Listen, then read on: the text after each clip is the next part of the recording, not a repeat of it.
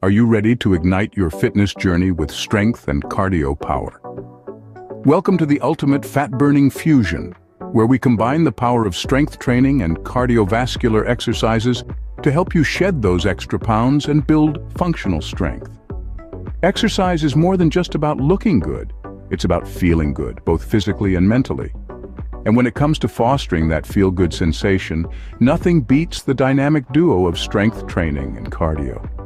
This potent pair not only helps torch fat, but also builds muscle, enhancing your body's overall functionality and endurance. So what can you expect from our workout routine today? We will be diving into a 30 to 40 minute session that brings together the best of both worlds. We'll incorporate elements of calisthenics, work with elastic bands and dumbbells, and sprinkle in some plyometric activities. This blend of exercises is designed not only to keep you engaged, but also to keep you motivated and perspiring throughout the session.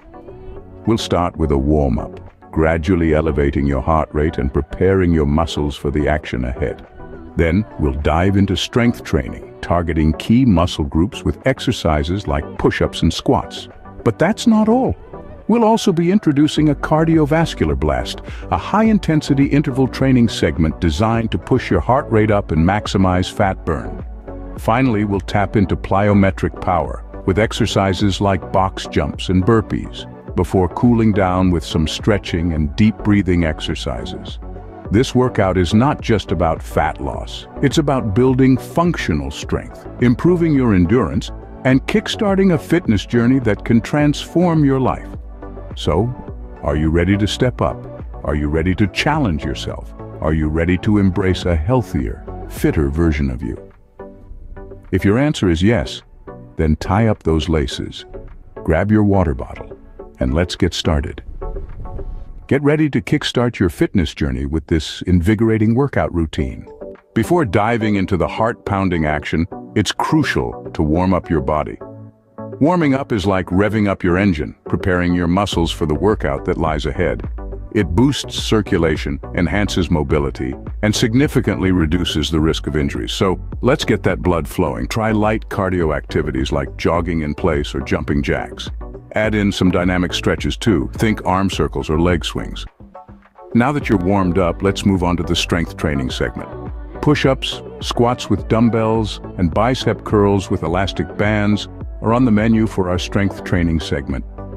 These exercises are specially designed to target different muscle groups and build functional strength.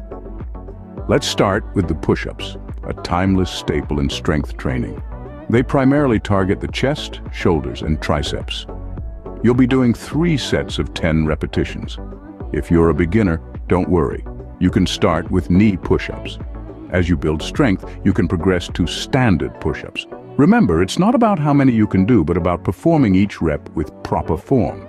Next on the agenda are squats with dumbbells. This exercise is fantastic for building strength in the lower body, specifically the quadriceps, hamstrings, and glutes. You'll be doing three sets of 12 repetitions. Hold a dumbbell in each hand at your sides and squat down as if sitting in a chair. Make sure your knees don't go beyond your toes and keep your back straight. This will help you maintain balance and avoid injuries. Lastly, we have bicep curls with elastic bands. This is a wonderful exercise to tone your arms. You'll be doing three sets of 12 repetitions. Step on the center of an elastic band, grab the ends with each hand, and curl it up. Don't forget to control the resistance on the way down. This eccentric phase of the exercise is just as important as the lifting phase for muscle growth. Strength training is a powerful tool for fat loss. It helps increase your metabolic rate, which means you'll continue to burn calories even after your workout. Moreover, it enhances your body's overall functionality and endurance, making daily tasks easier. Well done! Now let's move on to the cardiovascular blast. This is where we'll raise your heart rate, get you sweating, and maximize fat burn. So take a deep breath, hydrate, and get ready to push your limits. Get ready to push your heart rate up and maximize fat burn with a high-intensity interval training session. This is where we ignite the fire within and keep it blazing. Height workouts are all about performing exercises at a maximum effort for short intervals, followed by a brief rest period. This method is proven to boost your metabolism and keep you burning calories even after you've finished your workout. It's the epitome of work smarter, not harder. Our height cycle today is a combination of high knees and jumping lunges. High knees are like running on the spot, but with an extra kick. You'll want to lift your knees to hip level, engaging your core and pumping your arms as you go. It's a full-body workout that gets your heart racing and targets your lower body and core. Jumping lunges, on the other hand, are a plyometric exercise that strengthens your lower body and improves your balance and coordination. You'll start in a lunge position, explosively jump into the air, and switch legs before landing. Remember to keep your front knee over your ankle, and your back knee should barely touch the ground. This exercise not only tones your legs, but also ramps up your heart rate for a cardio blast. Here's how it will go. You'll perform 30 seconds of high knees, then swiftly transition to 30 seconds of jumping lunges. This forms one cycle. You'll then rest for a brief period before diving into the next cycle. Repeat this for 10 minutes. The aim here is to push yourself. Remember, the more you push, the more calories you burn, but don't forget to keep your form intact. It's not about how fast you go, but how well you perform each movement. Great job. Now let's move on to the plyometric power segment. Box jumps and burpees are up next in our plyometric power segment. Plyometric exercises are all about explosive movements, challenging your body to exert maximum force in short intervals of time. They're fantastic for increasing strength, speed, and endurance, making them a crucial part of any well-rounded fitness routine. First up, we have box jumps. This exercise will require a stable platform or box. The goal here is to jump onto the box with both feet, then step or jump back down. We're aiming for three sets of 10 reps. The key to a successful box jump is in the landing. You'll want to land softly with a slight bend in your knees to absorb the impact and protect your joints.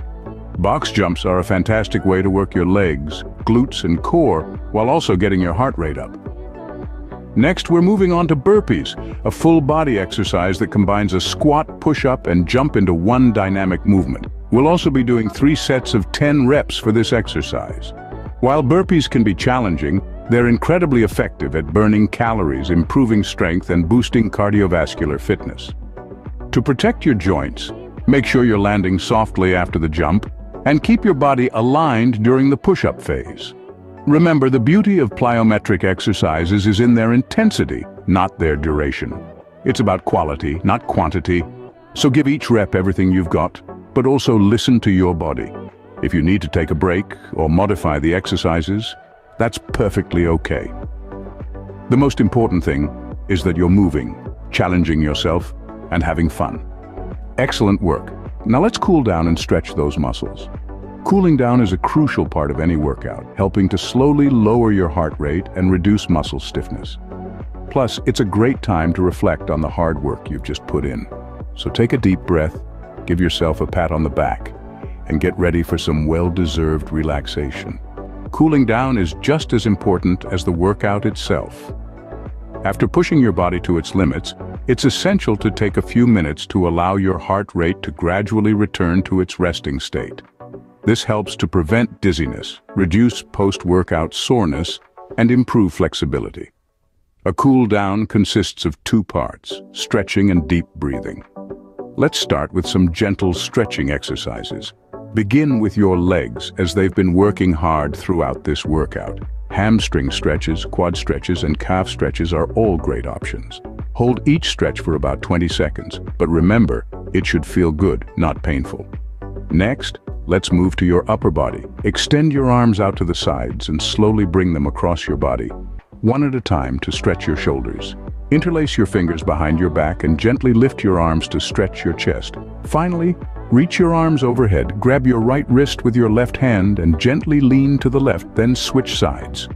Now, don't forget your core. Lay flat on your stomach and gently press up with your hands, arching your back to stretch your abdominal muscles. Remember, slow and steady is the key here. After stretching, it's time for some deep breathing exercises. Deep breathing helps to lower your heart rate and blood pressure, promoting relaxation. It's also a great way to reflect on your workout and acknowledge the effort you've put in today. Close your eyes, sit comfortably, and take a deep breath in through your nose, filling your lungs completely. Hold your breath for a few seconds, and then exhale slowly through your mouth, releasing all the tension. Repeat this a few times, focusing on the rhythm of your breath. Remember, cooling down should be a non-negotiable part of your workout routine. It may seem tempting to skip it when you're short on time, but it's crucial for your recovery and overall fitness progress. Remember, consistency is key in your fitness journey. Keep pushing, and you'll reap the rewards of a healthier, fitter you.